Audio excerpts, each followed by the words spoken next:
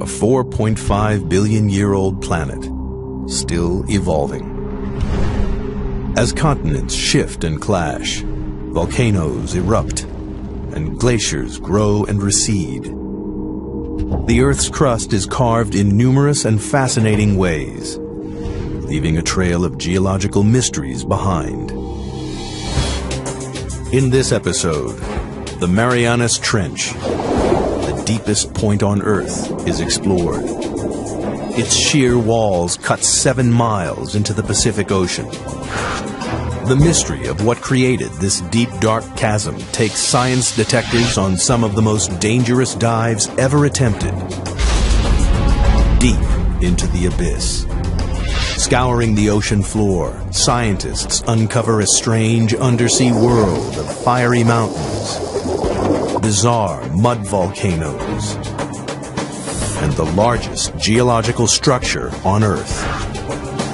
Discoveries from this unique underwater world will revolutionize our understanding of the powerful forces that shape not just the trench, but the Earth itself.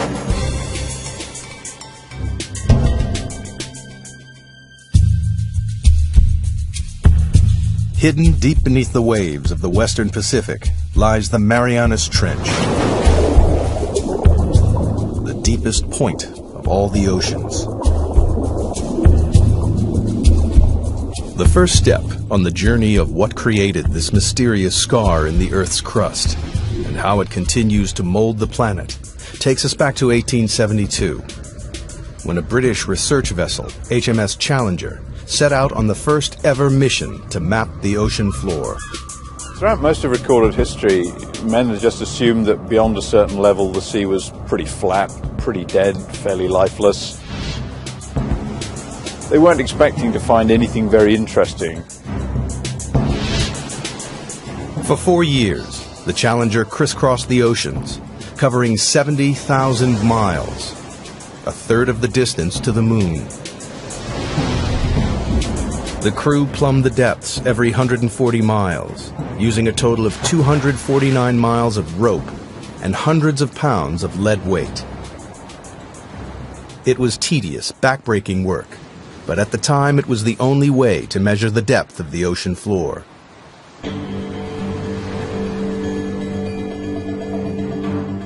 When they got to the western Pacific, 200 miles off the island of Guam, the crew routinely lowered the rope for a measurement.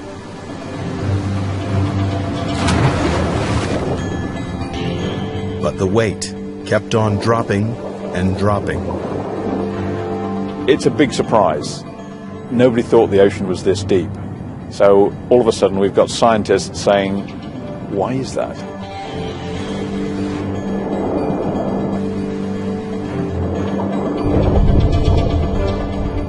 Eventually, the weight struck the bottom at 4,475 fathoms, nearly five miles beneath the ocean's surface. The scientists would be going, wow, we've found something, and what does it mean? Is it a little hole? Is it a big hole? What kind of feature is it down there? There's a whole lot of questions you get when you find this one spectacular reading. The Challenger expedition marked the birth of modern oceanography and provided the first crude map of the ocean floor. It showed how the ocean floor gently slopes away from the land and then plummets thousands of feet into vast flat plains. But the western Pacific is different. It drops off again into the five mile deep hole, a hole that blew right out of the water the long held belief that the sea floor was flat and featureless. And it spawned a mystery. Because nobody could understand how this strange underwater feature came about. It would be 75 years before any answers emerged. It took a revolutionary new technology, sonar, to push the investigation forward to the next crucial stage.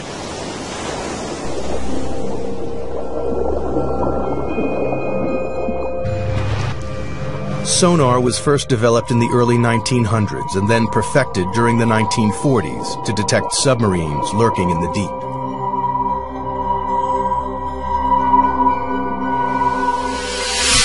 The system works by pumping sound waves through the water. The waves bounce off solid objects and are reflected back to a detector. By measuring the time it takes for the sound waves to bounce back, scientists realized they could build a remarkably accurate picture of the world beneath the waves. The world's major navies spend a lot of time and effort developing submarine hunting technology. Then the hydrographers discover that you can use this to chart the bottom of the sea. And it's an awful lot cheaper and easier than using large numbers of sailors pulling on ropes. In 1951, a British Navy research ship returned to the deep hole found by the Challenger expedition. But this time, they were armed with sophisticated new sonar equipment. And the results were amazing. Detailed sonar maps revealed that the deep hole in the Pacific Ocean floor isn't a hole at all, but part of a massive trench 30 times deeper than the Empire State Building is high. It runs twice the length of California, 1,500 miles from the southeast of Guam to the northwest of the Mariana Islands. People were probably astounded by what they were seeing because clearly the ocean floor had enormous changes in relief, was very mountainous in some places, had great deeps in other places. To a geologist, this would be extremely exciting. Even within the trench itself, there are remarkable variations. At its southern end lies the greatest surprise of all. The seafloor drops down another two miles to its lowest point, a staggering seven miles beneath the waves. Scientists had discovered the deepest part of the oceans, even today, it is the lowest known point on the planet. They named this part of the trench the Challenger Deep in honor of the ship that discovered it.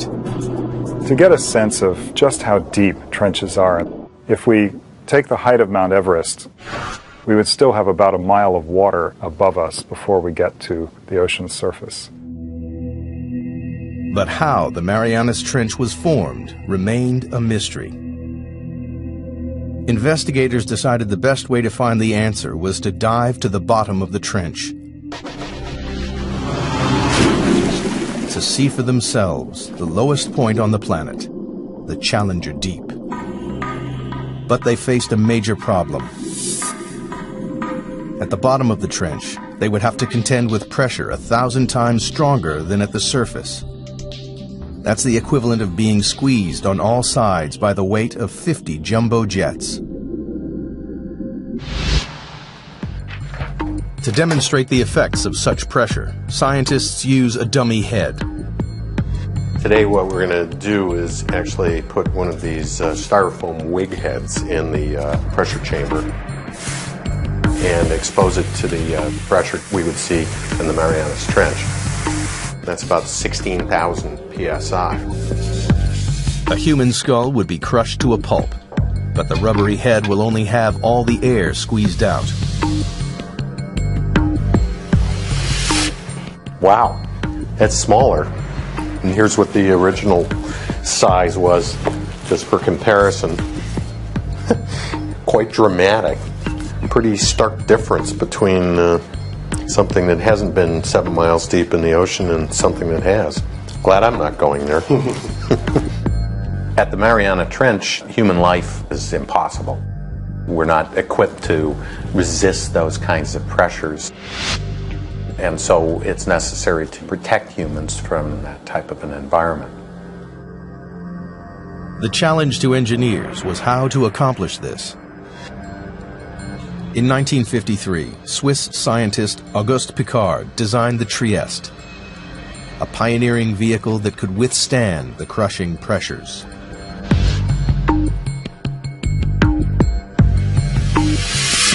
The submersible was dominated by a 50-foot long hull, filled with light aviation gasoline and lead weights to control buoyancy. Slung underneath it was a tiny six-foot spherical cabin with five-inch thick steel walls.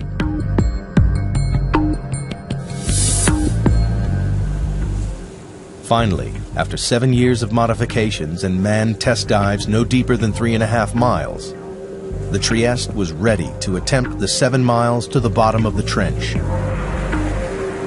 The commander of this perilous undertaking was U.S. Navy Lieutenant and deep sea explorer Don Walsh. I know the astronauts that go through this all the time. Why do you have to be there? Why can't we just put up a robot to do things? You've got to be there because that's what we do. Only a few officers and scientists knew about the risky mission, which was launched in January 1960 from the western Pacific island of Guam. Guam in those days was kind of a backwater. It was just right for us because we were trying to do this project sort of out of sight because we weren't too sure it was going to work. The Navy just didn't want to be embarrassed by a failed science spectacular. Accompanying Walsh was the son of the Trieste designer, engineer and oceanographer Jacques Piccard. The two men would spend the next nine hours squeezed inside the cramped sphere.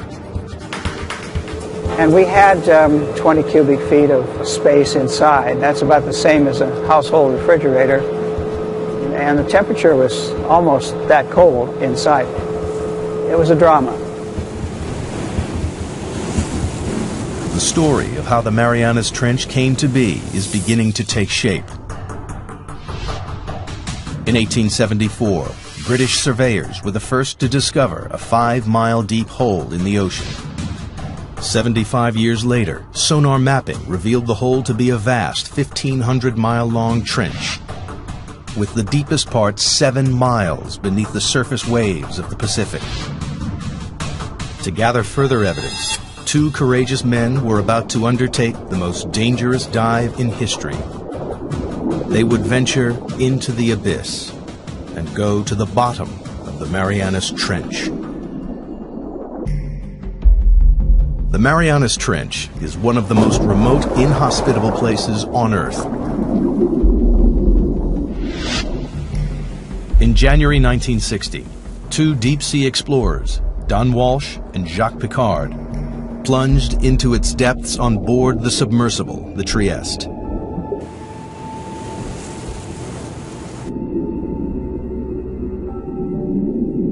At a speed of just three miles per hour, they began their slow descent into the twilight zone. By 3,000 feet, the darkness was total.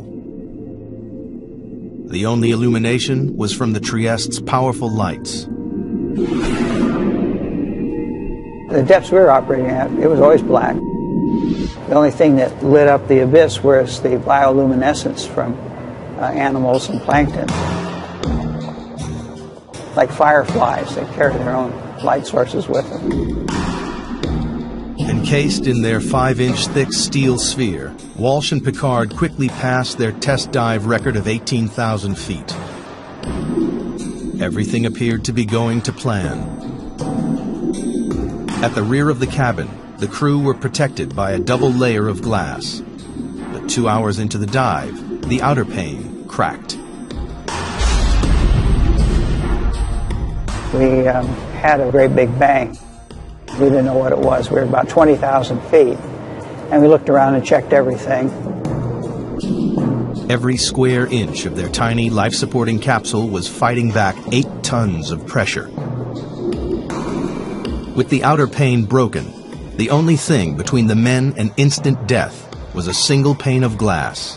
If the inner window had cracked, um, we would have been instantly dead, maybe even before we knew it. But incredibly, the inner pane remained watertight. Walsh and Piccard decided to continue the descent. After a tense, claustrophobic four hours and 48 minutes, they approached the bottom of the trench, only to be startled by movement on the sea floor. Just before we landed, we uh, saw a flatfish about a foot long, and that's a bottom dwelling fish, so if you see one, there are others. Nobody expected to see life at these crushing depths, but it meant the explorers had reached their goal.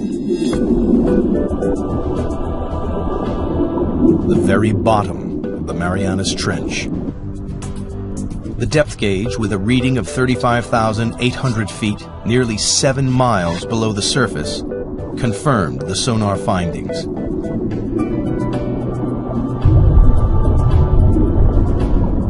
Squeezed inside their bubble of breathable air, the two explorers were closer to the Earth's center than man had ever been. We took a self-portrait. That's the picture that you see. Said we're going to do it, and we did it. But there was work to be done. Walsh and Piccard wanted to make detailed observations of the enormous trench. Unfortunately, the Trieste stirred up a cloud of fine, powdery sediment from the sea floor that obscured their view. It's like being in a bowl of milk at that point. So, realizing we weren't going to see anything, we decided to go on back up to the surface. Off the island of Guam, the Trieste surfaces after a descent into the Marianas Trench. After nine grueling hours underwater, Walsh and Piccard returned to the surface on January 23, 1960, and officially entered the record books for the deepest dive of all time. To this day, their extraordinary feat has never been repeated. The mission was a success, but the mystery remained. Geologists still didn't understand what could have formed the immense trench. And if they couldn't find the answer inside the trench, they would have to look elsewhere. Perhaps there was something somewhere on the ocean floor that might explain the trench's origins. Throughout the 50s and 60s, a team of geologists led by Princeton's Harry Hess compiled sonar data from all of the world's oceans. It was as though they had pulled out a giant plug to drain away all the water and expose the ocean floor. Their maps revealed that the Marianas Trench is just a tiny fraction of a network of enormous underwater canyons stretching right around the planet. But that wasn't all. Running parallel to the trench, on the other side of the Pacific, the map showed a giant underwater mountain range, the East Pacific Ridge. And this, too, is part of a global network, a 40,000 mile long chain of mountain ranges that ring the globe like the seams of a baseball to make the largest geological feature on Earth. It was a major development in the investigation, one that scientists hoped might explain the trench's formation. The next step was clear. Investigators needed to understand whether there was a connection between the trench and the East Pacific Ridge.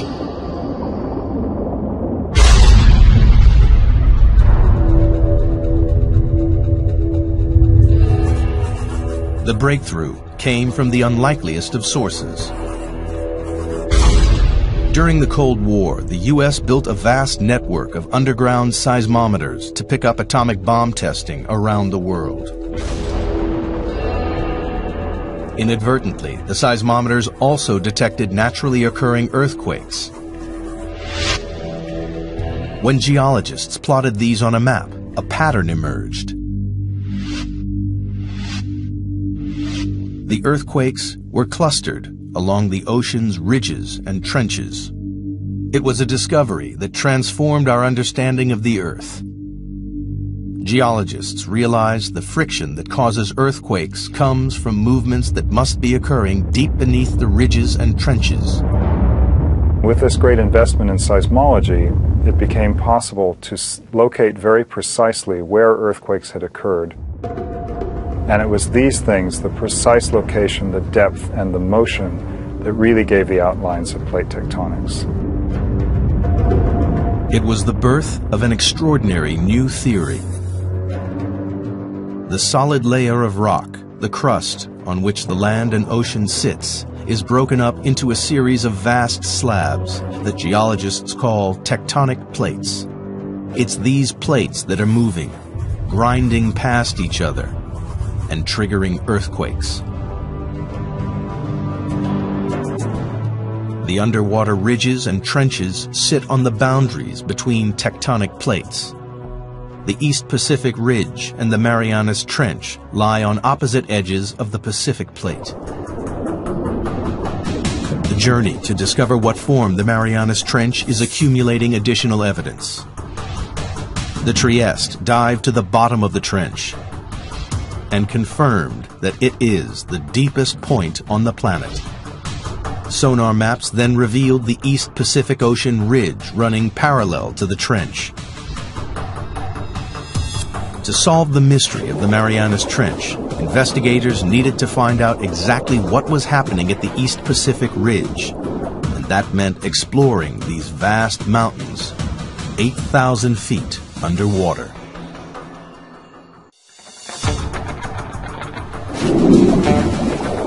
The pieces of the Marianas Trench puzzle are falling into place with the knowledge that it lies on the western edge of the Pacific tectonic plate.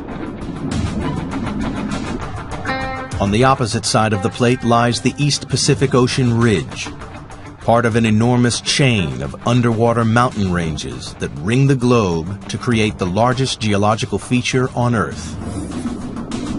Scientists had a hunch that this colossal ridge might help explain how the trench was formed. And they found a major clue halfway round the globe, where the ridge passed beneath the middle of the Atlantic Ocean. During the Cold War, the U.S. Navy developed a new technique to spot Soviet submarines. They scanned the seas with a tool called MAD, a magnetic anomaly detector, which could pinpoint steel hulls lurking in the deep. But they stumbled across something else. Running parallel on either side of the ridge, they found strange stripes of magnetic rocks, alternating positive and negative away from the ridge's peak. Here's the mid-Atlantic ridge coming down through here, almost perfectly symmetric on either side of that are these white and black stripes. These have often been called zebra stripes. Geologists know that the Earth is like a giant magnet with a north and a south pole. But the magnetic poles aren't fixed. Every 300,000 years or so, the magnetic field suddenly flips 180 degrees. When the field flips, a compass that was previously pointing north will swing to the south. This reversing of the Earth's magnetic field is a very interesting and exciting but very puzzling phenomenon for geophysicists to explain. Scientists think this reversal explains the stripes either side of the ocean ridge. In the 1960s, geologists discovered that molten volcanic rock, known as magma, swelled up from deep underground to create the ridges in the Atlantic and Pacific. As magma wells up between the tectonic plates, it pushes the seafloor up forms the colossal mid-ocean ridge thousands of feet high. When the rock is hot and molten, its magnetic minerals line up with the north-south direction of the Earth's magnetic field. As the magma cools, the minerals are locked in position. These rocks act as a permanent record of the magnetic pole's location when the rocks were formed. As more and more magma is forced up, the old crust is pushed away from the ridge and records the reversals in the Earth's magnetic polarity. If you have reversals of magnetic polarity, then the seafloor acts sort of like a tape recorder and records these changes in magnetization. Then the pattern of magnetic stripes allows people to calculate the speed at which the plates are moving apart. The zebra stripes are proof that over time, the seafloor in both the Atlantic and the Pacific is spreading away from the ridges at a rate of more than two inches a year. But geologists needed proof that magma created the ridge. If red-hot molten rock is forming the enormous mountain range in the Pacific, the surrounding water should be warm. In 1977, a team of scientists set out to discover whether this warm water really existed. Dudley Foster was the pilot for these historic dives. It's been an exciting occupation because you're on the cutting edge of science. Uh, new discoveries all the time. Every cruise, there's a new group of scientists with new scientific objectives, and there's the exploration and the discovery. And that's really what puts the thrill in the job.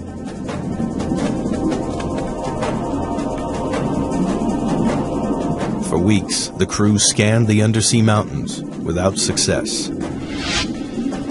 And then they hit the jackpot. A bizarre pillar of rock spewing hot, toxic gas. And we saw the water was sort of shimmering, sort of like uh, bubbling in a glass teapot or something. We stuck the temperature probe in there and measured 38, 39 degrees Fahrenheit, which was really amazing because the, the ocean's a huge heat sink. So to see something warm like that was kind of startling. In these pillars of rock, the expedition had found the heat from the magma surging up from deep inside the Earth. It wasn't warming the water evenly along the ridge. It was channeled up through strange hydrothermal vents. When you make these discoveries, you don't know how significant they are. The true significance of them maybe takes several years to appreciate. And this was one of those times. For the investigation into the Marianas Trench, these vents are a decisive piece of evidence. They confirm that magma is continually creating new crust at the Pacific Ocean ridge. And magnetic zebra stripes prove that old crust is pushed away from the ridge towards the other side of the Pacific Plate, towards the Marianas Trench. But this presents scientists with a puzzle. If new crust is being created at the ocean ridge and the Earth isn't expanding, then the old crust must be disappearing somewhere else. The reason that there's not getting bigger with seafloor spreading is because the same amount of seafloor is being destroyed in the Pacific.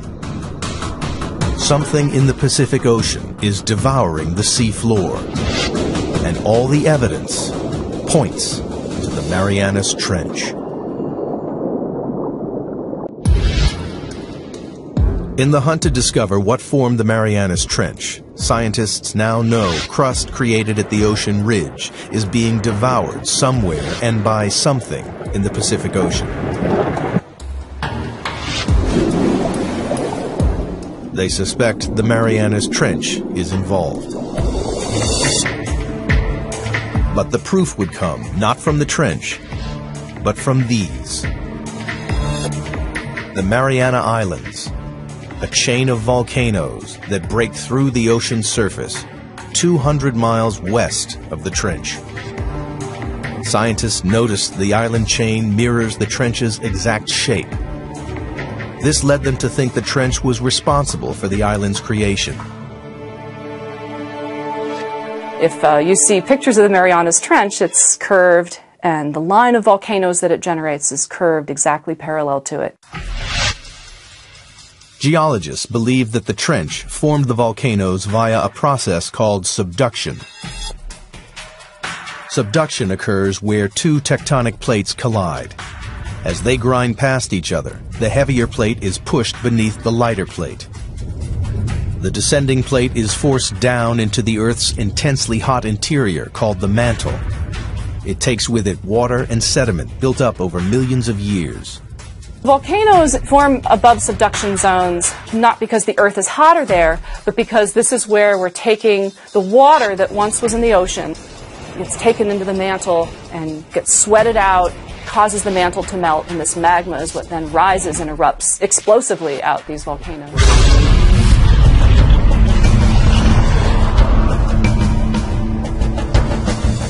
The water in the sediment forces magma to swirl up and push through the plate above.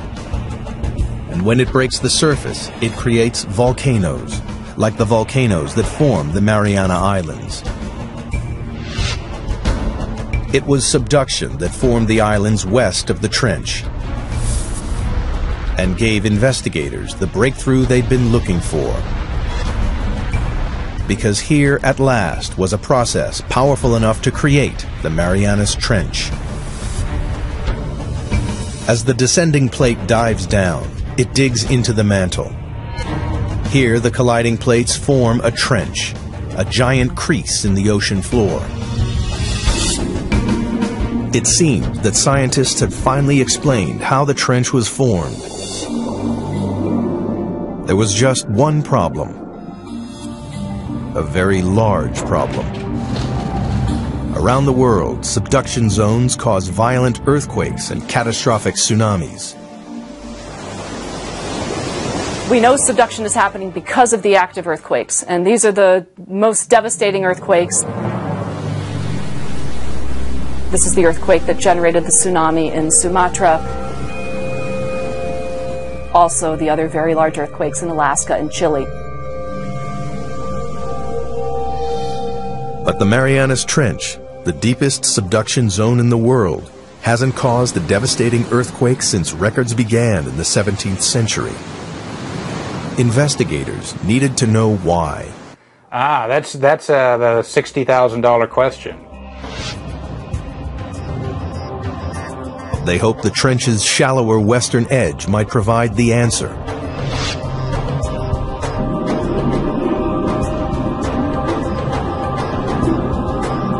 Here they found an intriguing chain of underwater hills two miles below the surface of the sea.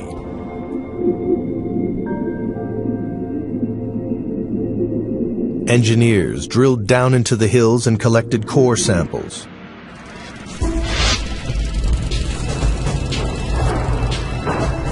And when the scientists analyzed the samples, they discovered the hills were actually volcanoes. And they spewed out not lava, but mud. The fine powdery mud is made up of a soft type of rock that has been ground up in the subduction zone. It seemed this soft rock might explain why there have been no major earthquakes at the Marianas Trench. Everybody has a sense of what a volcano is, but not all volcanoes erupt igneous rocks. There's some volcanoes that erupt mud, and a certain kind of unusual kind of mud in the Marianas is made out of serpentine. And serpentine is a very weak rock, and it can be scratched with a knife or something like that.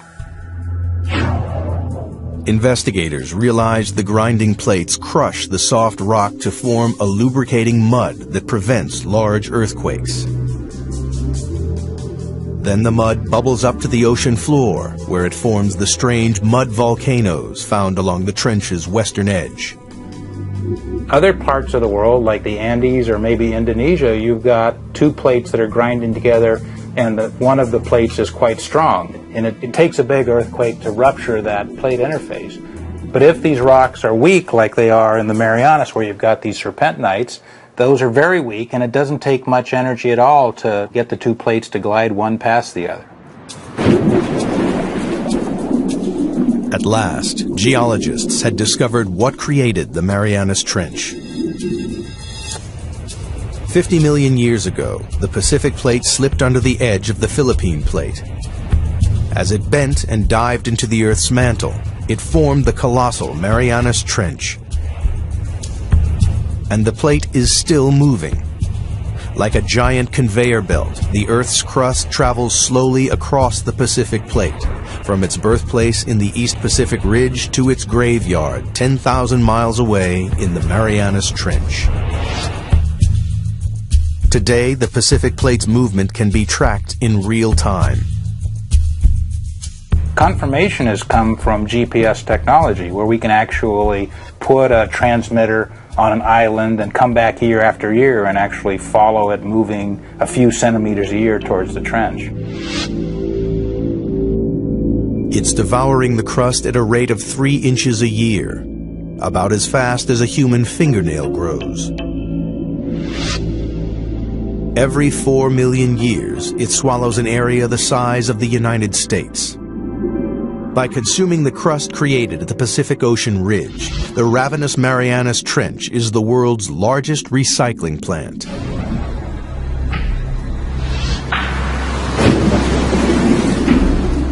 But there was one remaining and major piece of the puzzle to find. Scientists still didn't know why it is the deepest trench on Earth.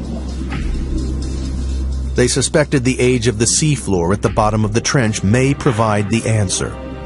It turns out there's a really strong relationship between the age of the seafloor and its depth in the water. In 1999, a team of deep sea drillers returned to the trench to collect core samples. One great thing about drilling this ocean crust is we actually got pieces of it. So we're holding in our hands here the material that's actually getting subducted at the Marianas Trench, and it turned out to be 170 million years old.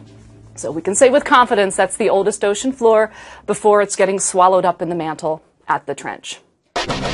But why is this piece of rock the oldest on the ocean floor? The seafloor at the Marianas Trench is so old because it's been so long since it was born. So it was born in the equivalent of the Eastern Pacific today, and it's just been going on longer than, than any other place in the oceans before it's been subducted. The Pacific Plate is the planet's largest tectonic plate, covering an area 11 times the size of the United States. When crust bubbled up at the ridge 170 million years ago, it was light and buoyant. But as it traveled 10,000 miles across the plate, it cooled and became compact and dense. Over millions of years, the dense crust got heavier and began to sink into the mantle below.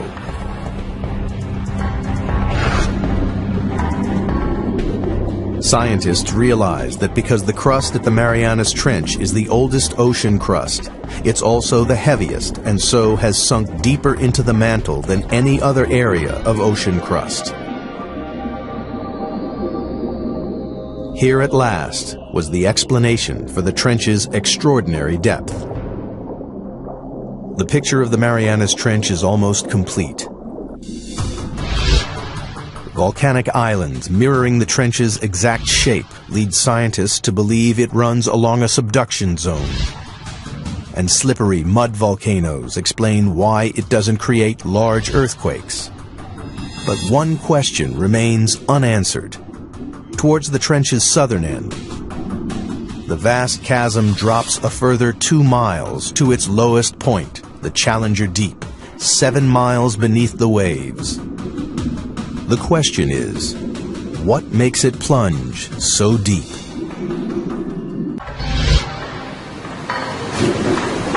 The investigation into the Marianas Trench has one final puzzle to solve. At the trench's southern end, the sea floor plummets a further 10,000 feet into a seven-mile deep chasm called the Challenger Deep. It's the lowest point on the planet. But so far, scientists have been unable to explain why this one section of the trench is so deep. Now, they believe the shape of the descending tectonic plate may hold the answer. The Challenger Deep, in addition, is a little bit deeper because of some peculiarities relating to how the slab that's going down is behaving. A narrow slab of crust has torn away from the Pacific Plate's descending edge. Well, it's basically got to do with how the slab pushes the mantle out of the way. Where you have a narrow slab, like you have at the Challenger Deep, it can sink almost vertically because the mantle that it's trying to displace can move around out of the way. Investigators have finally unraveled the mysteries of the Marianas Trench. And in the process, they've made a discovery with implications that stretch far beyond the trench itself.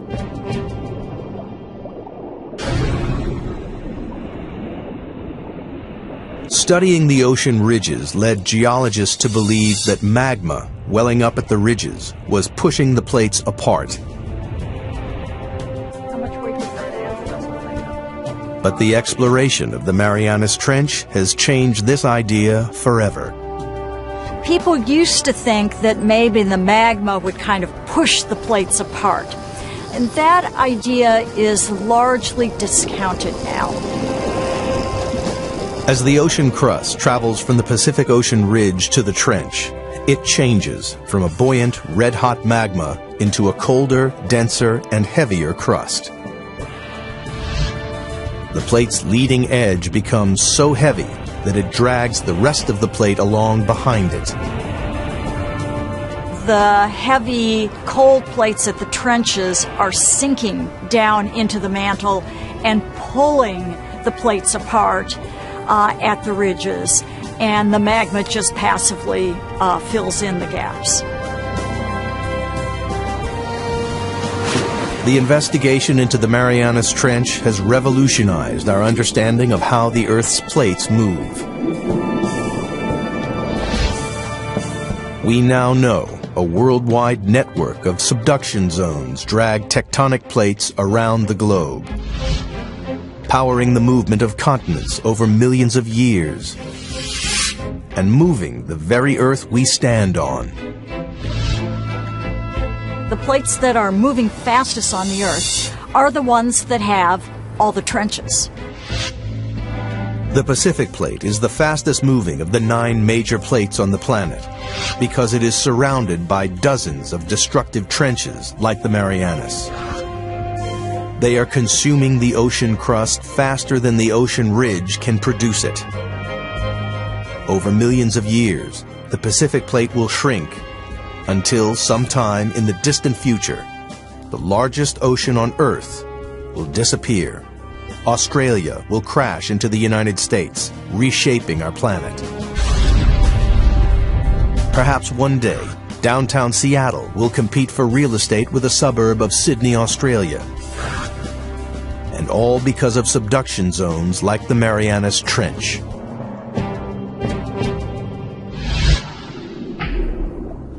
But for all its significance, man has only ever dived to the bottom of the trench once, and there are no immediate plans to return.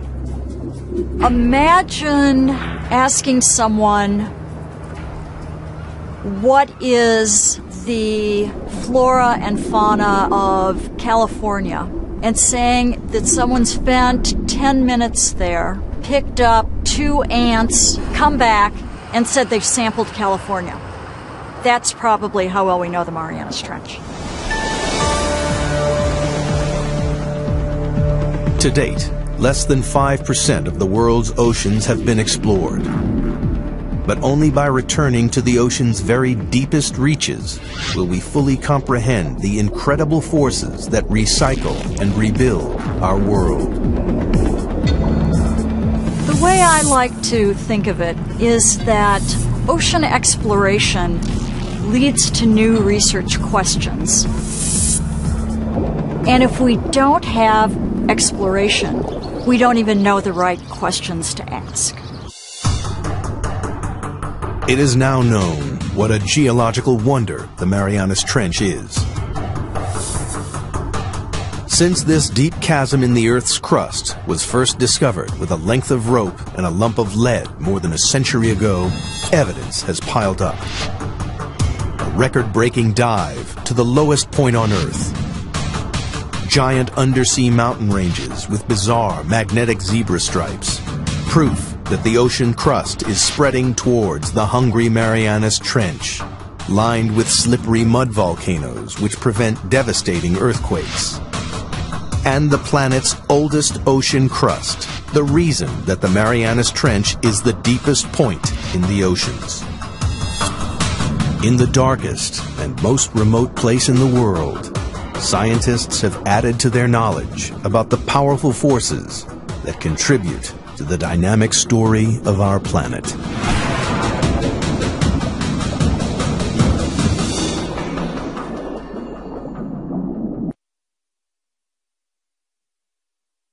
The Marianas Trench the depth gauge, with a reading of 35,800 feet, nearly seven miles below the surface, confirmed the sonar findings.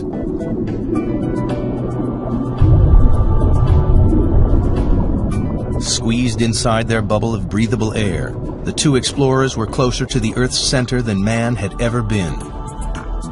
We took a self-portrait. That's the picture that you see. Said we're going to do it, and we did it. But there was work to be done. Walsh and Piccard wanted to make detailed observations of the enormous trench. Unfortunately, the Trieste stirred up a cloud of fine, powdery sediment from the sea floor that obscured their view. It's like being in a bowl of milk at that point. So, realizing we weren't going to see anything, we decided to go on back up to the surface. Off the island of Guam, the Trieste surfaces after a descent into the Marianas Trench. After nine grueling hours underwater, Walsh and Piccard returned to the surface on January 23, 1960, and officially entered the record books for the deepest dive of all time. To this day, their extraordinary feat has never been repeated. The mission was a success, but the mystery remained. Geologists still didn't understand what could have formed the immense trench. And if they couldn't find the answer inside the trench, they would have to look elsewhere. Perhaps there was something somewhere on the ocean floor that might explain the trench's origins. Throughout the 50s and 60s, a team of geologists led by Princeton's Harry Hess compiled sonar data from all of the world's oceans. It was as though they had pulled out a giant plug to drain away all the water and expose the ocean floor. Their maps revealed that the Marianas Trench is just a tiny fraction of a network of enormous underwater canyons stretching right around the planet. But that wasn't all. Running parallel to the trench, on the other side of the Pacific, the map showed a giant underwater mountain range, the East Pacific Ridge. And this, too, is part of a global network, a 40,000 mile long chain of mountain ranges that ring the globe like the seams of a baseball to make the largest geological feature on Earth. It was a major development in the investigation, one that scientists hoped might explain the trench's formation. The next step was clear. Investigators needed to understand whether there was a connection between the trench and the East Pacific Ridge.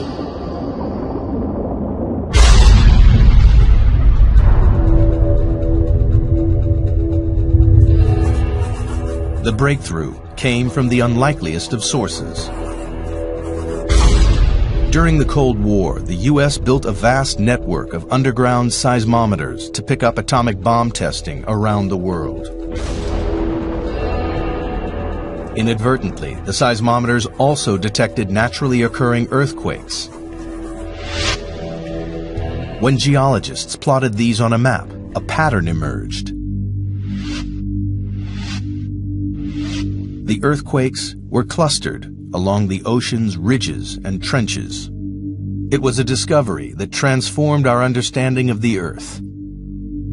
Geologists realized the friction that causes earthquakes comes from movements that must be occurring deep beneath the ridges and trenches. With this great investment in seismology, it became possible to locate very precisely where earthquakes had occurred. And it was these things, the precise location, the depth, and the motion, that really gave the outlines of plate tectonics. It was the birth of an extraordinary new theory. The solid layer of rock, the crust on which the land and ocean sits, is broken up into a series of vast slabs that geologists call tectonic plates. It's these plates that are moving, grinding past each other, and triggering earthquakes. The underwater ridges and trenches, Earth, a 4.5 billion year old planet, still evolving. As continents shift and clash, volcanoes erupt, and glaciers grow and recede, The Earth's crust is carved in numerous and fascinating ways, leaving a trail of geological mysteries behind. In this episode, the Marianas Trench, the deepest point on Earth, is explored. Its sheer walls cut seven miles into the Pacific Ocean. The mystery of what created this deep, dark chasm takes science detectives on some of the most dangerous dives ever attempted. Deep into the abyss. Scouring the ocean floor, scientists uncover a strange undersea world of fiery mountains, bizarre mud volcanoes, and the largest geological structure on Earth. Discoveries from this unique underwater world will revolutionize our understanding of the powerful forces that shape not just the trench, but the Earth itself.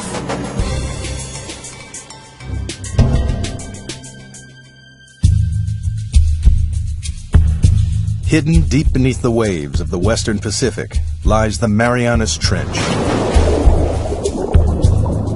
deepest point of all the oceans. The first step on the journey of what created this mysterious scar in the Earth's crust and how it continues to mold the planet takes us back to 1872, when a British research vessel, HMS Challenger, set out on the first ever mission to map the ocean floor. Throughout most of recorded history, men had just assumed that beyond a certain level the sea was pretty flat, pretty dead, fairly lifeless. They weren't expecting to find anything very interesting. For four years, the Challenger crisscrossed the oceans, covering 70,000 miles, a third of the distance to the moon. The crew plumbed the depths every 140 miles, using a total of 249 miles of rope and hundreds of pounds of lead weight. It was tedious, backbreaking work, but at the time it was the only way to measure the depth of the ocean floor.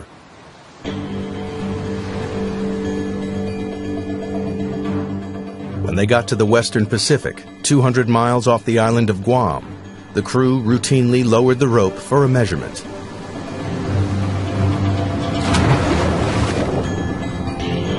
But the weight kept on dropping and dropping. It's a big surprise. Nobody thought the ocean was this deep. So all of a sudden we've got scientists saying, why is that?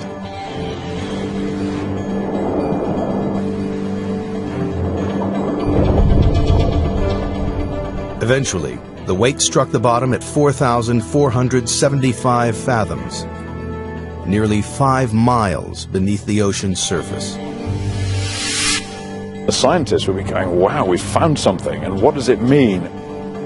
Is it a little hole? Is it a big hole? What kind of feature is it down there? There's a whole lot of questions you get when you find this one spectacular reading. The Challenger expedition marked the birth of modern oceanography and provided the first crude map of the ocean floor. It showed how the ocean floor gently slopes away from the land and then plummets thousands of feet into vast flat plains. But the western Pacific is different. It drops off again into the five mile deep hole, a hole that blew right out of the water the long held belief that the sea floor was flat and featureless. And it spawned a mystery. Because nobody could understand how this strange underwater feature came about. It would be 75 years before any answers emerged. It took a revolutionary new technology, sonar, to push the investigation forward to the next crucial stage.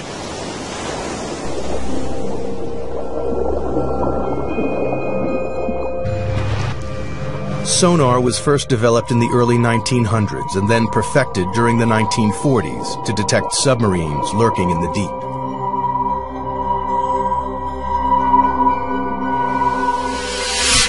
The system works, but sit on the boundaries between tectonic plates. The East Pacific Ridge and the Marianas Trench lie on opposite edges of the Pacific Plate. Journey to discover what formed the Marianas Trench is accumulating additional evidence. The Trieste dived to the bottom of the trench and confirmed that it is the deepest point on the planet.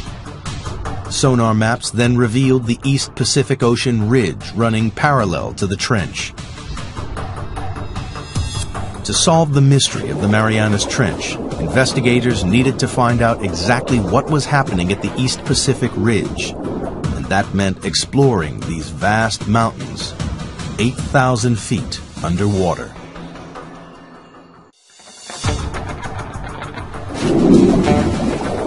The pieces of the Marianas Trench puzzle are falling into place with the knowledge that it lies on the western edge of the Pacific tectonic plate. On the opposite side of the plate lies the East Pacific Ocean Ridge, part of an enormous chain of underwater mountain ranges that ring the globe to create the largest geological feature on Earth. Scientists had a hunch that this colossal ridge might help explain how the trench was formed. And they found a major clue halfway round the globe, where the ridge passed beneath the middle of the Atlantic Ocean. During the Cold War, the U.S. Navy developed a new technique to spot Soviet submarines. They scanned the seas with a tool called MAD, a magnetic anomaly detector, which could pinpoint steel hulls lurking in the deep. But they stumbled across something else. Running parallel on either side of the ridge, they found strange stripes of magnetic rocks, alternating positive and negative away from the ridge's peak. Here's the mid-Atlantic ridge coming down through here, almost perfectly symmetric on either side of that are these white and black stripes. These have often been called zebra stripes. Geologists know that the Earth is like a giant magnet with a north and a south pole. But the magnetic poles aren't fixed. Every 300,000 years or so, the magnetic field suddenly flips 180 degrees. When the field flips, a compass that was previously pointing north will swing to the south. This reversing of the Earth's magnetic field is a very interesting and exciting but very puzzling phenomenon for geophysicists to explain. Scientists think this reversal explains the stripes either side of the ocean ridge. In the 1960s, geologists discovered that molten volcanic rock, known as magma, swelled up from deep underground to create the ridges in the Atlantic and Pacific. As magma wells up between the tectonic plates, it pushes the seafloor up forms the colossal mid-ocean ridge thousands of feet high.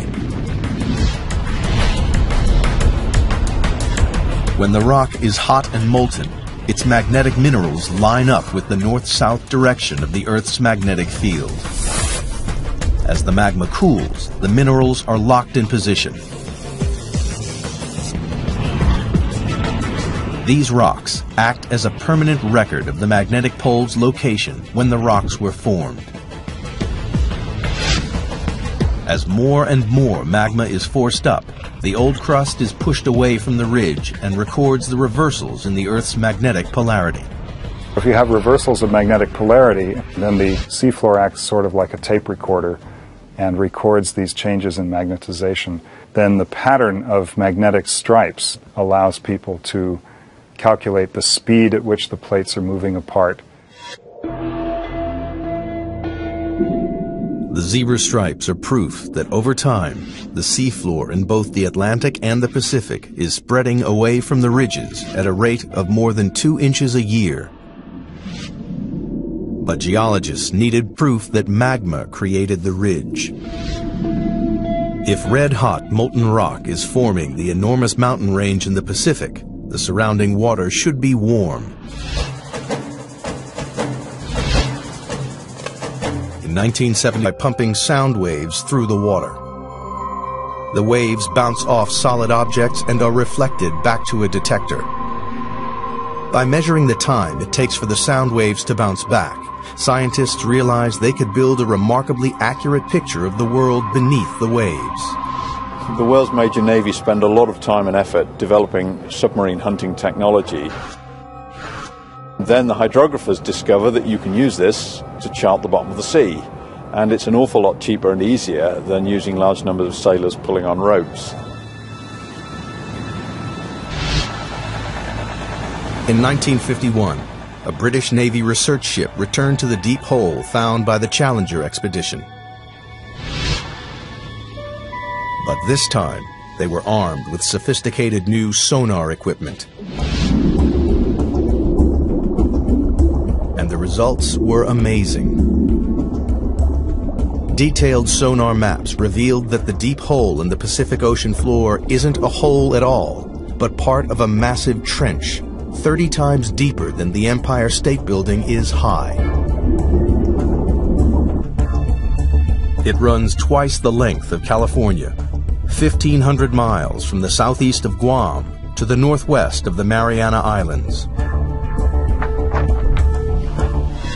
People were probably astounded by what they were seeing because clearly the ocean floor had enormous changes in relief, was very mountainous in some places, had great deeps in other places. To a geologist, this would be extremely exciting.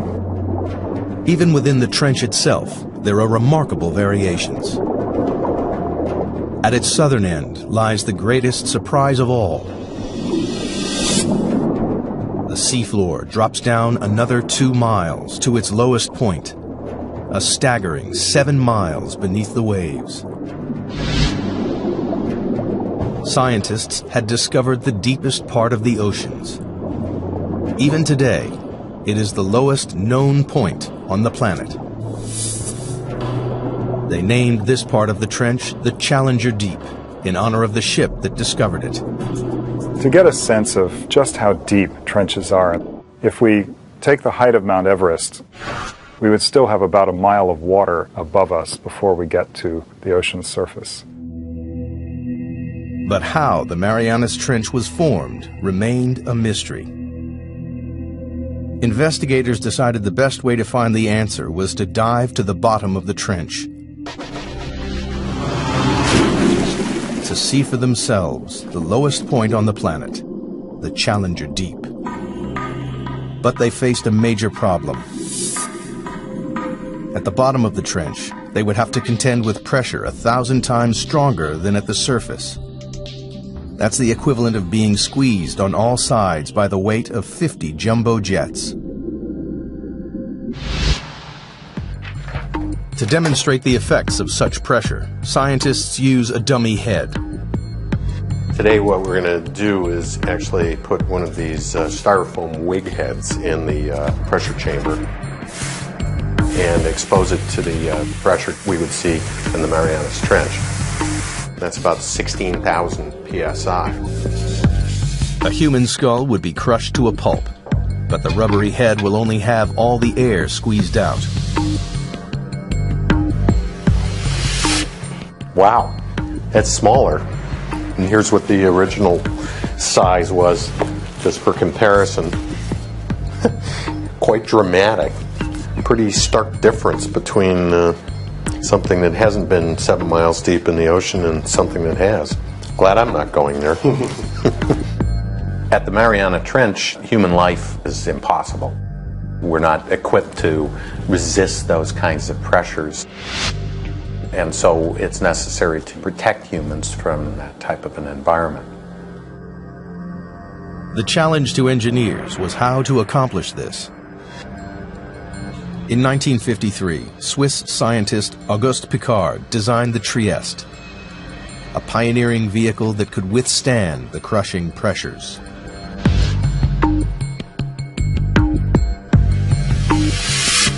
The submersible was dominated by a 50-foot long hull, filled with light aviation gasoline and lead weights to control buoyancy. Slung underneath it was a tiny six-foot spherical cabin with five-inch thick steel walls.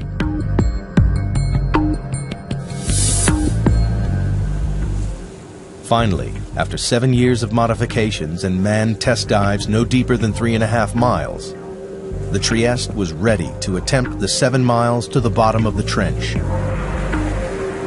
The commander of this perilous undertaking was U.S. Navy Lieutenant and deep sea explorer Don Walsh. I know the astronauts that go through this all the time. Why do you have to be there? Why can't we just put up a robot to do things? We've got to be there because that's what we do. Only a few officers and scientists knew about the risky mission, which was launched in January 1960 from the western Pacific island of Guam. Guam in those days was kind of a backwater. It was just right for us because we were trying to do this project sort of out of sight because we weren't too sure it was going to work. The Navy just didn't want to be embarrassed by a failed science spectacular. Accompanying Walsh was the son of the Trieste designer, engineer and oceanographer Jacques Piccard. The two men would spend the next nine hours squeezed inside the cramped sphere. And we had um, 20 cubic feet of space inside. That's about the same as a household refrigerator. And the temperature was almost that cold inside. It was a drama. The story of how the Marianas Trench came to be is beginning to take shape. In 1874, British surveyors were the first to discover a five-mile deep hole in the ocean.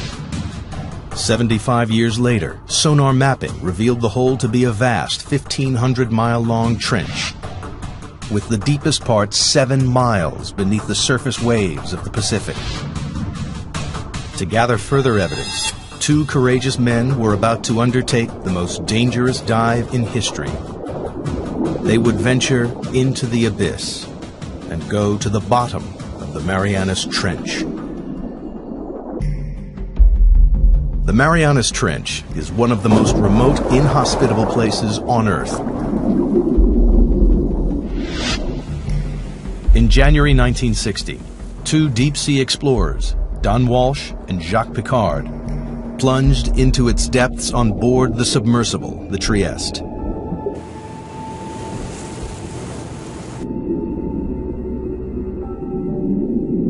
At a speed of just three miles per hour, they began their slow descent into the twilight zone. By 3,000 feet, the darkness was total. The only illumination was from the Trieste's powerful lights. The depths we were operating at, it was always black. The only thing that lit up the abyss was the bioluminescence from uh, animals and plankton. Like fireflies, they carry their own light sources with them. Encased in their five-inch thick steel sphere, Walsh and Piccard quickly passed their test dive record of 18,000 feet. Everything appeared to be going to plan. At the rear of the cabin, the crew were protected by a double layer of glass. But two hours into the dive, the outer pane cracked. We um, had a great big bang. We didn't know what it was. We were about 20,000 feet. And we looked around and checked everything.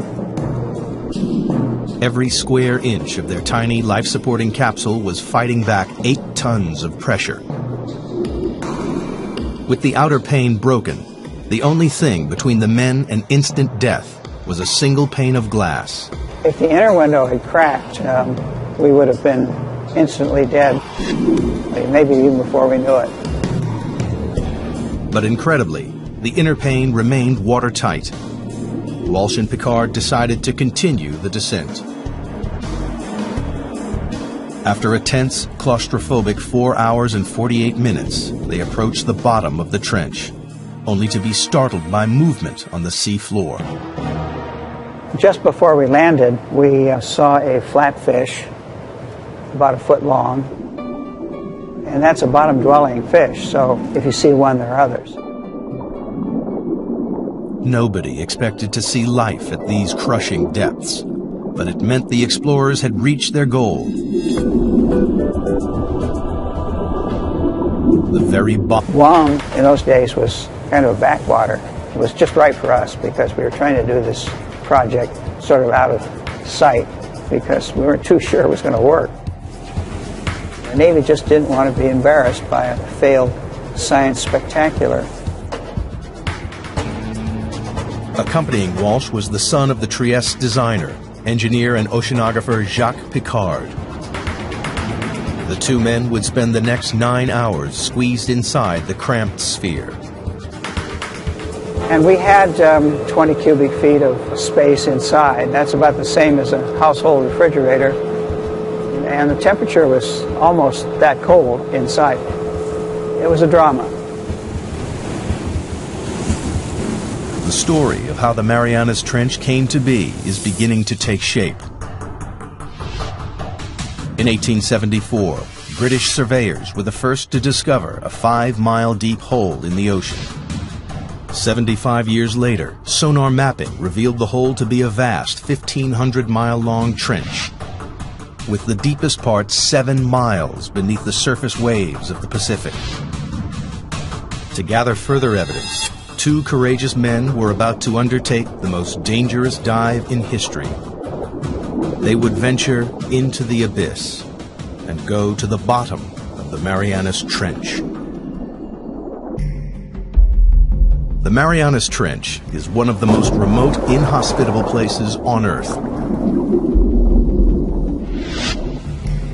In January 1960, two deep-sea explorers, Don Walsh and Jacques Piccard, plunged into its depths on board the submersible, the Trieste.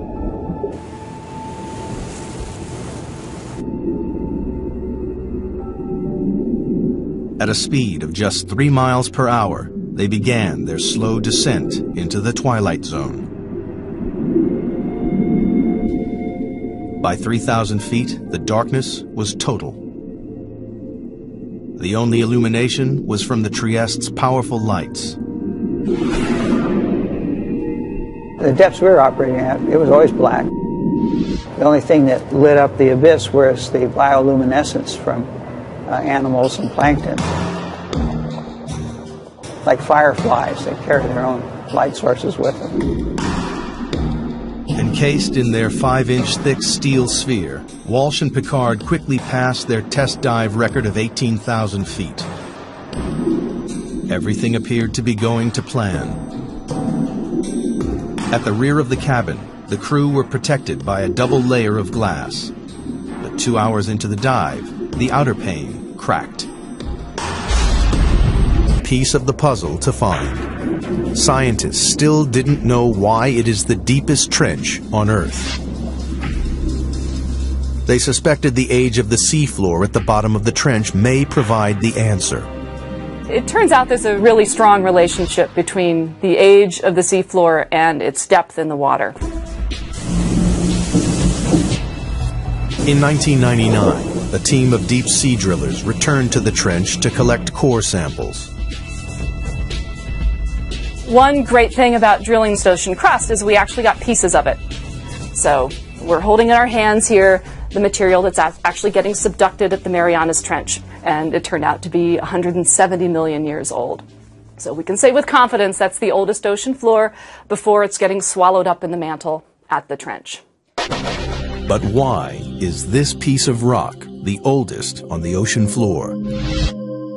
The seafloor at the Marianas Trench is so old because it's been so long since it was born. So it was born in the equivalent of the Eastern Pacific today, and it's just been going on longer than, than any other place in the oceans before it's been subducted.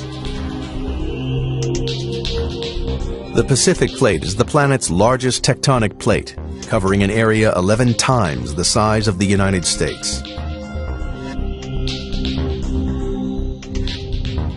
When crust bubbled up at the ridge 170 million years ago, it was light and buoyant. But as it traveled 10,000 miles across the plate, it cooled and became compact and dense. Over millions of years, the dense crust got heavier and began to sink into the mantle below.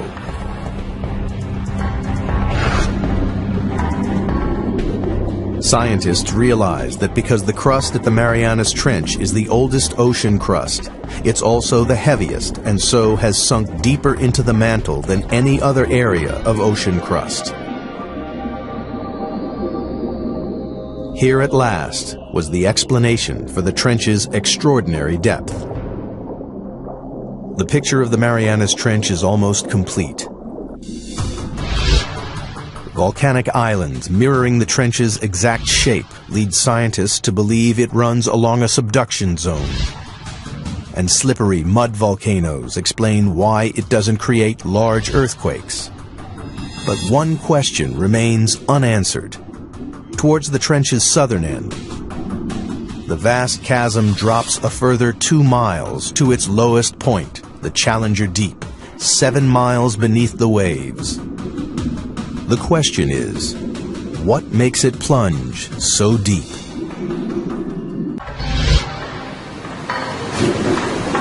The invest the Challenger expedition marked the birth of modern oceanography and provided the first crude map the ocean floor. It showed how the ocean floor gently slopes away from the land and then plummets thousands of feet into vast flat plains. But the Western Pacific is different. It drops off again into the five-mile deep hole, a hole that blew right out of the water the long-held belief that the sea floor was flat and featureless. And it spawned a mystery. Because nobody could understand how this strange underwater feature came about.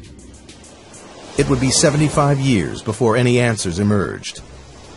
It took a revolutionary new technology, sonar, to push the investigation forward to the next crucial stage.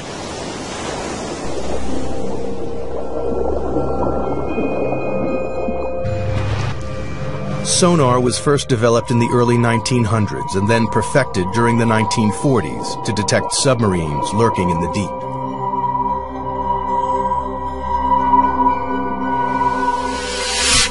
The system works by pumping sound waves through the water. The waves bounce off solid objects and are reflected back to a detector. By measuring the time it takes for the sound waves to bounce back, scientists realized they could build a remarkably accurate picture of the world beneath the waves. The world's major navies spend a lot of time and effort developing submarine hunting technology then the hydrographers discover that you can use this to chart the bottom of the sea. And it's an awful lot cheaper and easier than using large numbers of sailors pulling on ropes. In 1951, a British Navy research ship returned to the deep hole found by the Challenger expedition. But this time, they were armed with sophisticated new sonar equipment. and the results were amazing. Detailed sonar maps revealed that the deep hole in the Pacific Ocean floor isn't a hole at all, but part of a massive trench, 30 times deeper than the Empire State Building is high. It runs twice the length of California, 1,500 miles from the southeast of Guam to the northwest of the Mariana Islands. people were probably astounded by what they were seeing because clearly the ocean floor had enormous changes in relief, was very mountainous in some places, had great deeps in other places. To a geologist, this would be extremely exciting. Pacific Ocean. The mystery of what created this deep, dark chasm takes science detectives on some of the most dangerous dives ever attempted. Deep into the abyss. Scouring the ocean floor, scientists uncover a strange undersea world of fiery mountains, bizarre mud volcanoes, the largest geological structure on Earth. Discoveries from this unique underwater world will revolutionize our understanding of the powerful forces that shape not just the trench, but the Earth itself.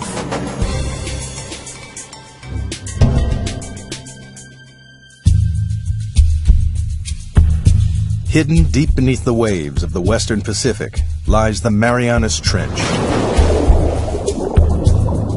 deepest point of all the oceans.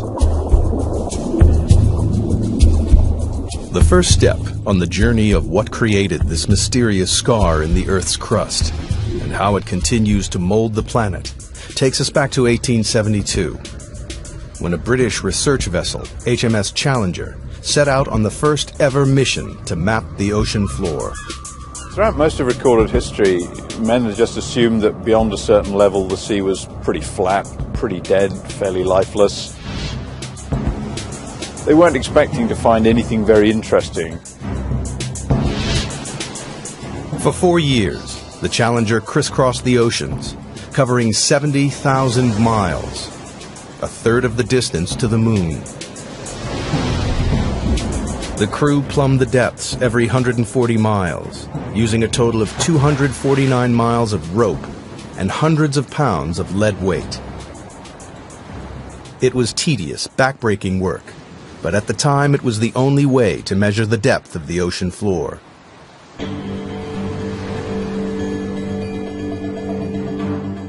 When they got to the western Pacific, 200 miles off the island of Guam, the crew routinely lowered the rope for a measurement.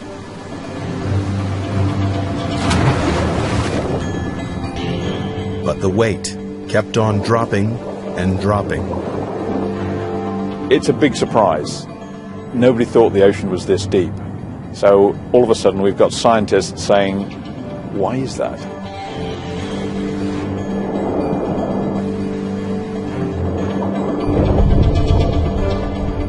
Eventually, the weight struck the bottom at 4,475 fathoms, nearly five miles beneath the ocean's surface.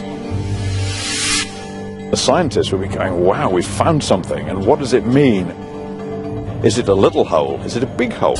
And this, too, is part of a global network, a 40,000 mile long chain of mountain ranges that ring the globe like the seams of a baseball to make the largest geological feature on Earth. It was a major development in the investigation, one that scientists hoped might explain the trench's formation. The next step was clear. Investigators needed to understand whether there was a connection between the trench and the East Pacific Ridge.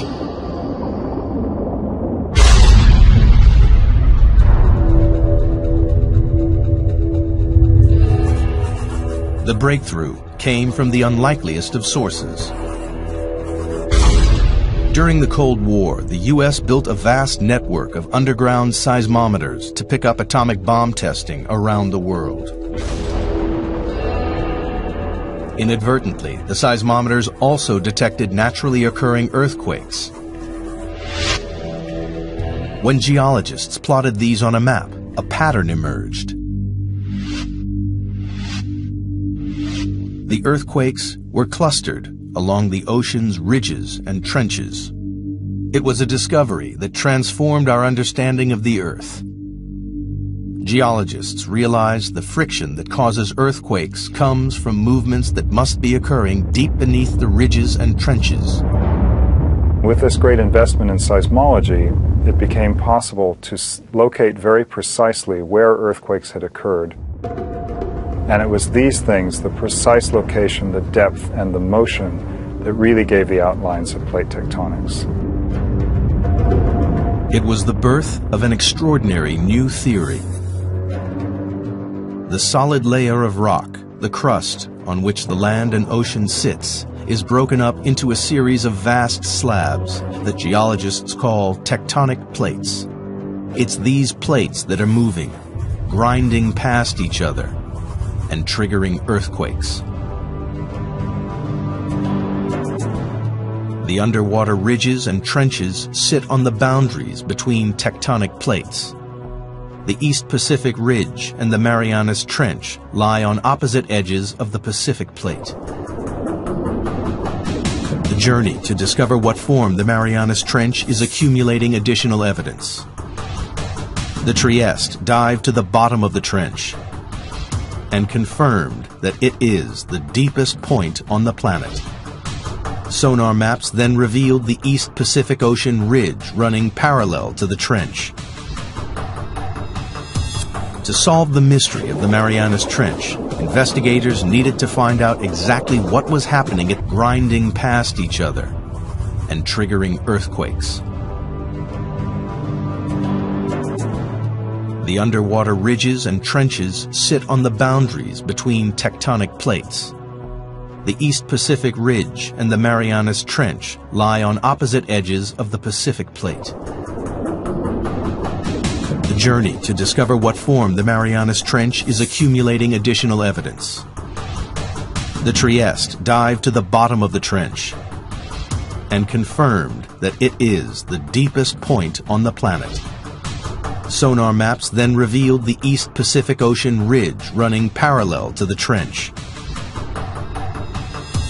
To solve the mystery of the Marianas Trench, investigators needed to find out exactly what was happening at the East Pacific Ridge, and that meant exploring these vast mountains, 8,000 feet underwater.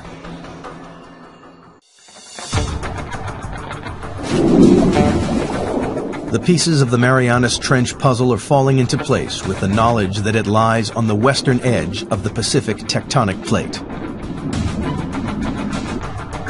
On the opposite side of the plate lies the East Pacific Ocean Ridge, part of an enormous chain of underwater mountain ranges that ring the globe to create the largest geological feature on Earth. Scientists had a hunch that this colossal ridge might help explain how the trench was formed. And they found a major clue halfway round the globe, where the ridge passed beneath the middle of the Atlantic Ocean. During the Cold War, the U.S. Navy developed a new technique to spot Soviet submarines. They scanned the seas with a tool called MAD, a magnetic anomaly detector, which could pinpoint steel hulls lurking in the deep. But they stumbled across something else.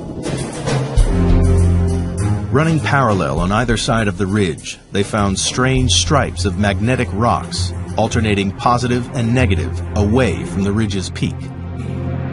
Here's the mid-Atlantic ridge coming down through here, almost perfectly symmetric on either side of that are these white and black stripes. These have often been called zebra stripes. Geologists know that the Earth is like a giant magnet with a north and a south pole. But the magnetic poles aren't fixed. Every 300,000 years or so, the magnetic field suddenly flips 180 degrees. When the field flips, a compass that was previously pointing north will swing to the The seafloor drops down another two miles to its lowest point, a staggering seven miles beneath the waves. Scientists had discovered the deepest part of the oceans. Even today, it is the lowest known point on the planet. They named this part of the trench the Challenger Deep in honor of the ship that discovered it. To get a sense of just how deep trenches are, if we take the height of Mount Everest, we would still have about a mile of water above us before we get to the ocean's surface. But how the Marianas Trench was formed remained a mystery. Investigators decided the best way to find the answer was to dive to the bottom of the trench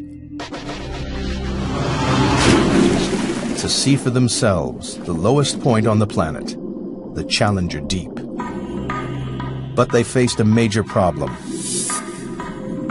At the bottom of the trench, they would have to contend with pressure a thousand times stronger than at the surface. That's the equivalent of being squeezed on all sides by the weight of 50 jumbo jets. To demonstrate the effects of such pressure, scientists use a dummy head. Today what we're going to do is actually put one of these uh, styrofoam wig heads in the uh, pressure chamber and expose it to the uh, pressure we would see in the Marianas Trench. That's about 16,000 psi. A human skull would be crushed to a pulp, but the rubbery head will only have all the air squeezed out. Wow, that's smaller. And here's what the original size was, just for comparison. Quite dramatic. Pretty stark difference between uh, Something that hasn't been seven miles deep in the ocean and something that has.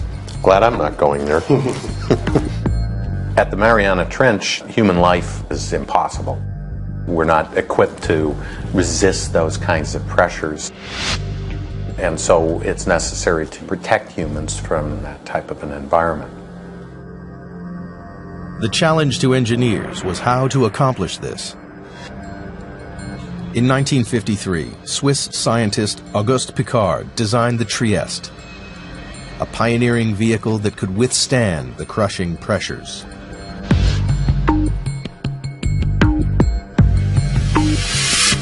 The submersible was dominated by a 50-foot long hull, filled with light aviation gasoline and lead weights to control buoyancy.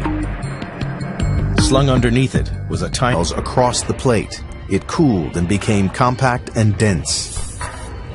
Over millions of years, the dense crust got heavier and began to sink into the mantle below.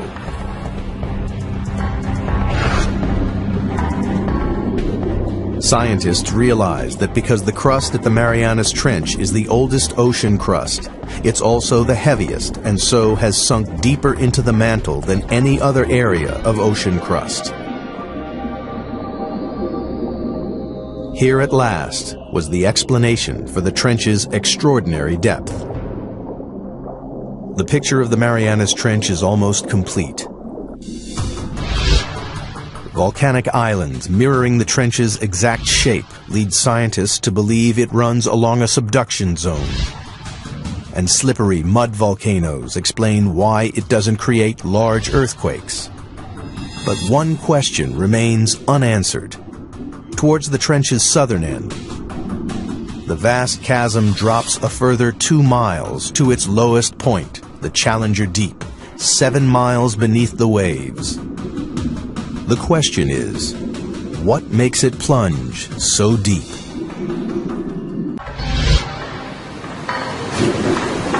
The investigation into the Marianas Trench has one final puzzle to solve.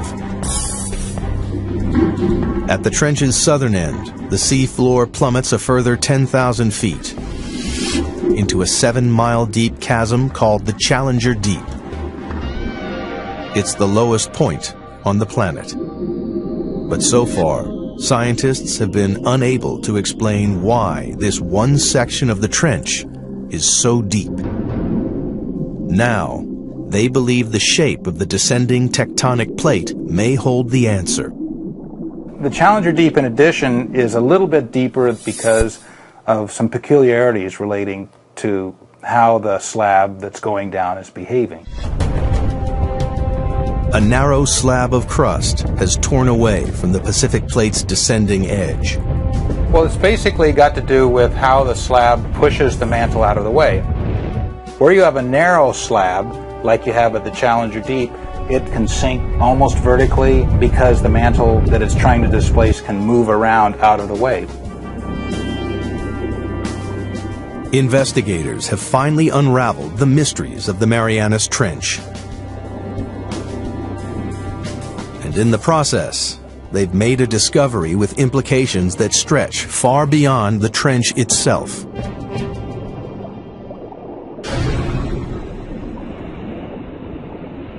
Studying the ocean ridges led geologists to believe that magma, welling upward up a cloud of fine, powdery sediment from the sea floor that obscured their view. It's like being in a bowl of milk at that point. So realizing we weren't going to see anything, we decided to go on back up to the surface. Off the island of Guam, the Trieste surfaces after a descent into the Marianas Trench.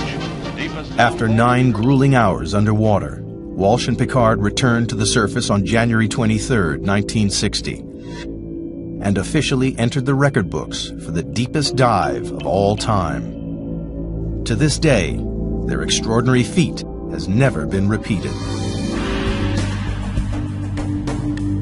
The mission was a success, but the mystery remained. Geologists still didn't understand what could have formed the immense trench. And if they couldn't find the answer inside the trench, they would have to look elsewhere. Perhaps there was something somewhere on the ocean floor that might explain the trench's origins. Throughout the 50s and 60s, a team of geologists led by Princeton's Harry Hess compiled sonar data from all of the world's oceans. It was as though they had pulled out a giant plug to drain away all the water and expose the ocean floor. Their maps revealed that the Marianas Trench is just a tiny fraction of a network of enormous underwater canyons stretching right around the planet. But that wasn't all. Running parallel to the trench, on the other side of the Pacific, the map showed a giant underwater mountain range, the East Pacific Ridge. And this too is part of a global network, a 40,000 mile long chain of mountain ranges that ring the globe like the seams of a baseball to make the largest geological feature on Earth.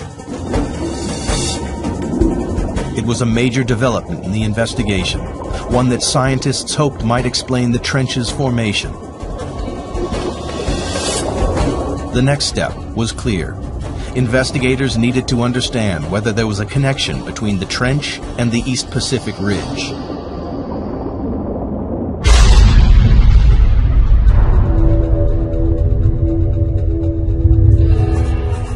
The breakthrough came from the unlikeliest of sources. During the Cold War, the U.S. built a vast network of underground seismometers to pick up atomic bomb testing around the world. Inadvertently, the seismometers also detected naturally occurring earthquakes. Are sinking down into the mantle and pulling the plates apart uh, at the ridges, and the magma just passively uh, fills in the gaps. The investigation into the Marianas Trench has revolutionized our understanding of how the Earth's plates move. We now know a worldwide network of subduction zones drag tectonic plates around the globe, powering the movement of continents over millions of years, and moving the very Earth we stand on. The plates that are moving fastest on the Earth are the ones that have all the trenches.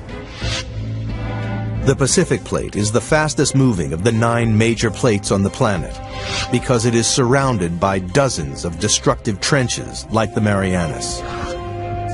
They are consuming the ocean crust faster than the ocean ridge can produce it. Over millions of years, the Pacific Plate will shrink until sometime in the distant future, the largest ocean on Earth will disappear. Australia will crash into the United States, reshaping our planet. Perhaps one day, downtown Seattle will compete for real estate with a suburb of Sydney, Australia. And all because of subduction zones like the Marianas Trench.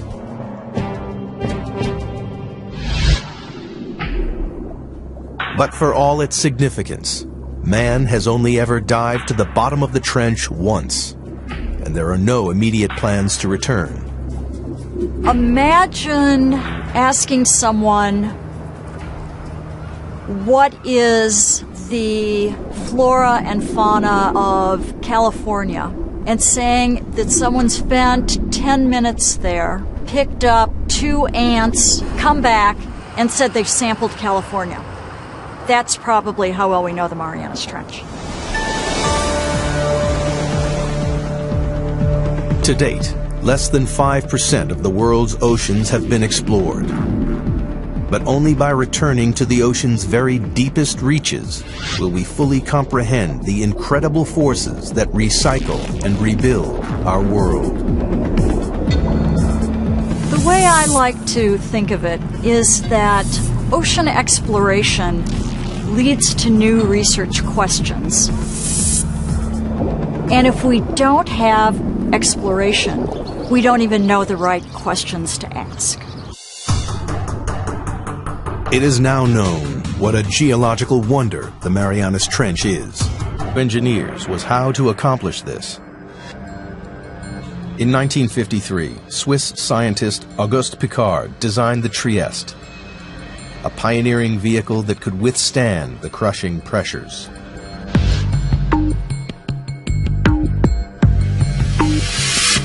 The submersible was dominated by a 50-foot long hull, filled with light aviation gasoline and lead weights to control buoyancy.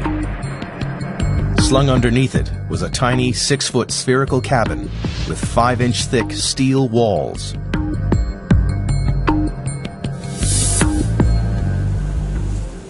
Finally, after seven years of modifications and manned test dives no deeper than three and a half miles, the Trieste was ready to attempt the seven miles to the bottom of the trench. The commander of this perilous undertaking was U.S. Navy Lieutenant and deep sea explorer Don Walsh. I know the astronauts that go through this all the time. Why do you have to be there? Why can't we just put up a robot to do things? You've got to be there because that's what we do. Only a few officers and scientists knew about the risky mission which was launched in January 1960 from the western Pacific island of Guam. Guam in those days was kind of a backwater. It was just right for us because we were trying to do this project sort of out of sight because we weren't too sure it was going to work. The Navy just didn't want to be embarrassed by a failed science spectacular. Accompanying Walsh was the son of the Trieste designer, engineer and oceanographer Jacques Piccard. The two men would spend the next nine hours squeezed inside the cramped sphere. And we had um, 20 cubic feet of space inside. That's about the same as a household refrigerator. And the temperature was almost that cold inside. It was a drama.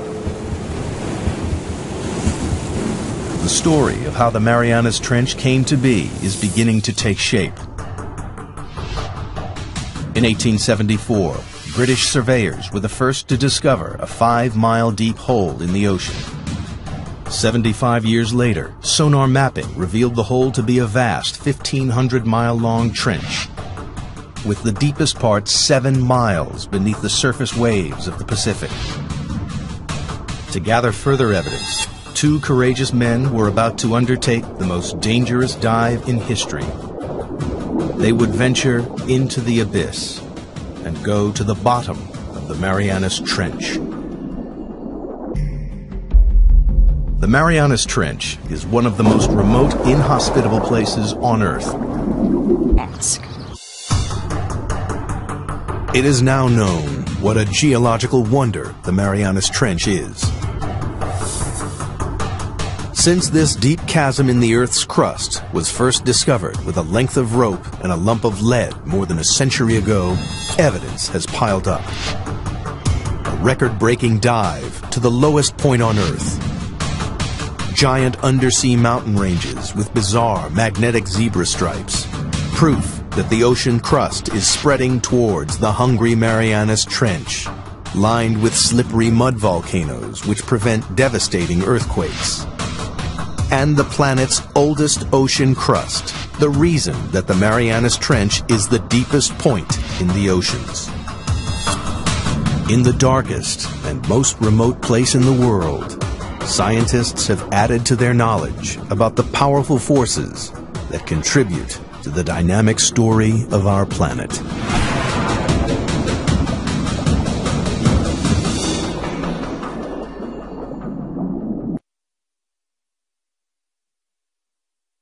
Marianas Trench. The depth gauge, with a reading of 35,800 feet, nearly seven miles below the surface, confirmed the sonar findings.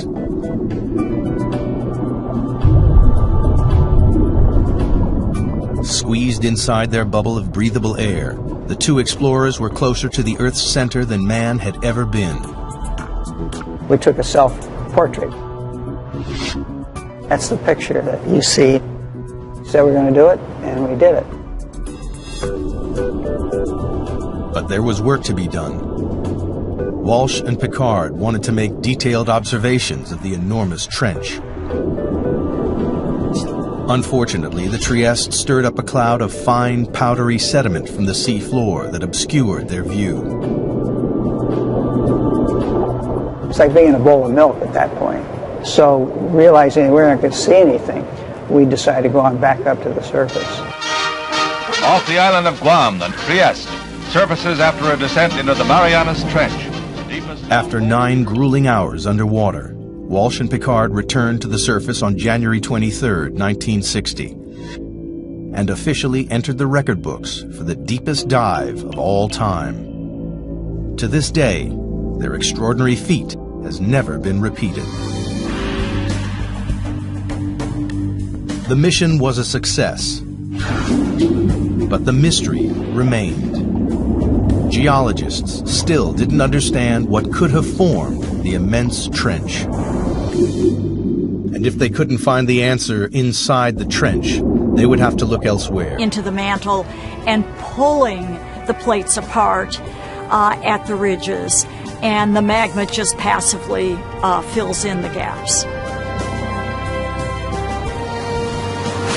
The investigation into the Marianas Trench has revolutionized our understanding of how the Earth's plates move.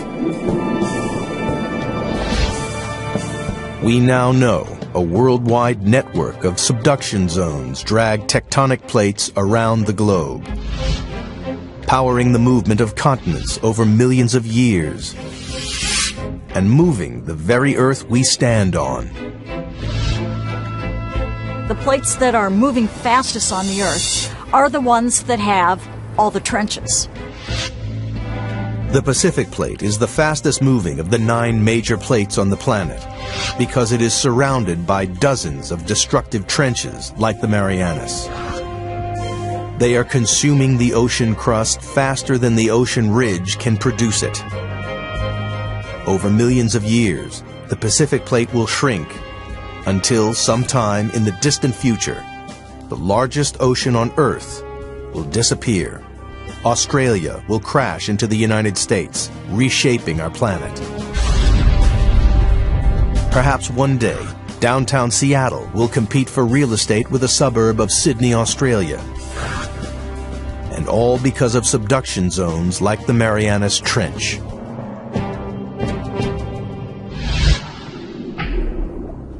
But for all its significance, man has only ever dived to the bottom of the trench once and there are no immediate plans to return. Imagine asking someone what is the flora and fauna of California and saying that someone spent 10 minutes there, picked up two ants, come back, and said they've sampled California. That's probably how well we know the Marianas Trench. To date, less than 5% of the world's oceans have been explored. But only by returning to the ocean's very deepest reaches will we fully comprehend the incredible forces that recycle and rebuild our world. The way I like to think of it is that ocean exploration leads to new research questions. And if we don't have exploration, we don't even know the right questions to ask. It is now known what a geological wonder the Marianas Trench is. What a lot of questions you get when you find this one spectacular reading. The Challenger expedition marked the birth of modern oceanography and provided the first crude map of the ocean floor. It showed how the ocean floor gently slopes away from the land and then plummets thousands of feet into vast flat plains. But the Western Pacific is different. It drops off again into the five-mile deep hole, a hole that blew right out of the water the long-held belief that the sea floor was flat and featureless. And it spawned a mystery because nobody could understand how this strange underwater feature came about. It would be 75 years before any answers emerged.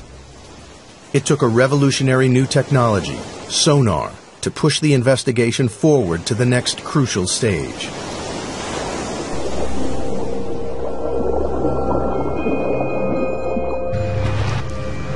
Sonar was first developed in the early 1900s and then perfected during the 1940s to detect submarines lurking in the deep.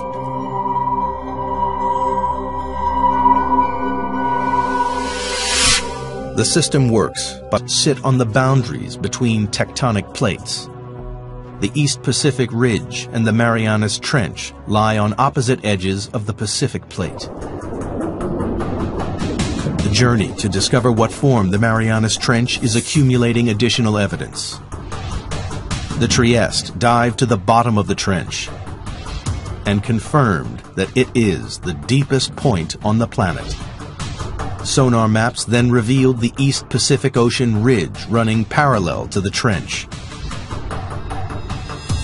To solve the mystery of the Marianas Trench, investigators needed to find out exactly what was happening at the East Pacific Ridge. And that meant exploring these vast mountains, 8,000 feet underwater.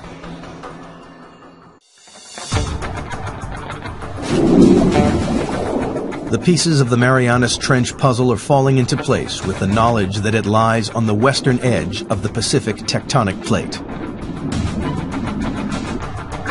On the opposite side of the plate lies the East Pacific Ocean Ridge, part of an enormous chain of underwater mountain ranges that ring the globe to create the largest geological feature on Earth. Scientists had a hunch that this colossal ridge might help explain how the trench was formed. And they found a major clue halfway round the globe, where the ridge passed beneath the middle of the Atlantic Ocean. They weren't expecting to find anything very interesting. For four years, the Challenger crisscrossed the oceans, covering 70,000 miles, a third of the distance to the moon. The crew plumbed the depths every 140 miles, using a total of 249 miles of rope and hundreds of pounds of lead weight. It was tedious, backbreaking work, but at the time it was the only way to measure the depth of the ocean floor.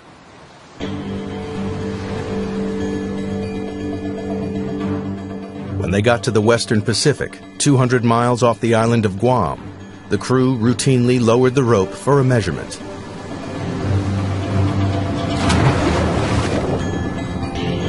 But the weight kept on dropping and dropping.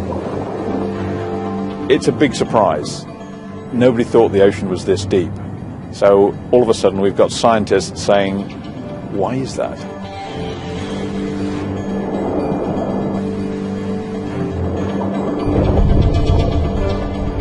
Eventually, the weight struck the bottom at 4,475 fathoms, nearly five miles beneath the ocean's surface. The scientists would be going, wow, we've found something, and what does it mean? Is it a little hole? Is it a big hole? What kind of feature is it down there? There's a whole lot of questions you get when you find this one spectacular reading.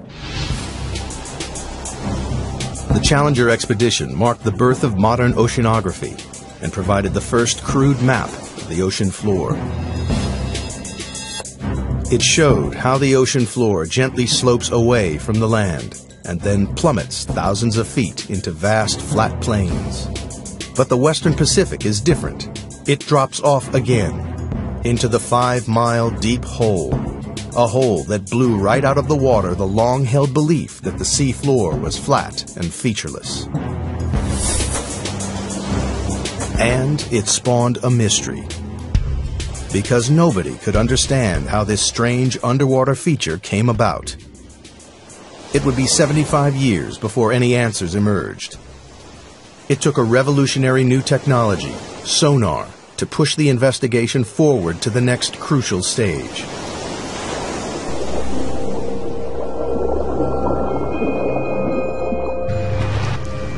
Sonar was first developed in the early 1900s and then perfected during the 1940s to detect submarines lurking in the deep.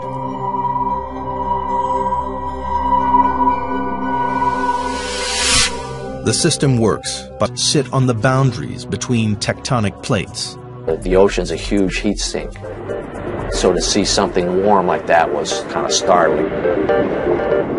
In these pillars of rock, the expedition had found the heat from the magma surging up from deep inside the Earth. It wasn't warming the water evenly along the ridge. It was channeled up through strange hydrothermal vents. When you make these discoveries, you don't know how significant they are. The true significance of them maybe takes several years to appreciate. And this was one of those times. For the investigation into the Marianas Trench, these vents are a decisive piece of evidence. They confirm that magma is continually creating new crust at the Pacific Ocean ridge. And magnetic zebra stripes prove that old crust is pushed away from the ridge towards the other side of the Pacific Plate, towards the Marianas Trench. But this presents scientists with a puzzle.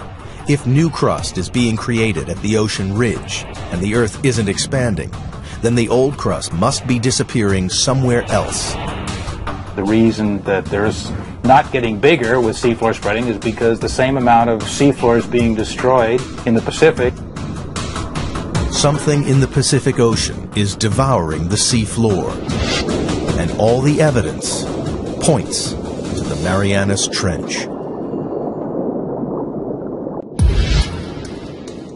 In the hunt to discover what formed the Marianas Trench, scientists now know crust created at the ocean ridge is being devoured somewhere and by something in the Pacific Ocean.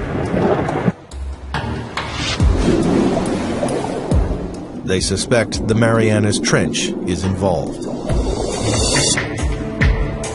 But the proof would come not from the trench, but from these. The Mariana Islands, a chain of volcanoes that break through the ocean surface 200 miles west of the trench. Scientists noticed the island chain mirrors the trench's exact shape. This led them to think the trench was responsible for the island's creation. If uh, you see pictures of the Marianas Trench, it's curved, and the line of volcanoes that it generates is curved exactly parallel to it. Geologists believe that the trench formed the volcanoes via a process called subduction. Subduction occurs where two tectonic plates collide. As they grind past each other, the heavier plate is pushed beneath the lighter plate. The descending plate